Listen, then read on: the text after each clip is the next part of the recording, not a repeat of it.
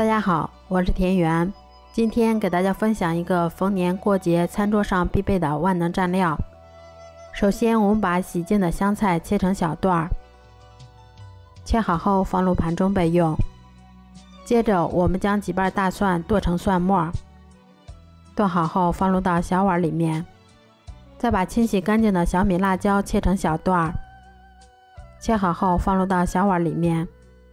再把我们提前切好的葱花也加进来，再加入一勺辣椒粉，一勺熟芝麻，接着再淋入两勺滚烫的热油，把它们的香味儿给激发出来。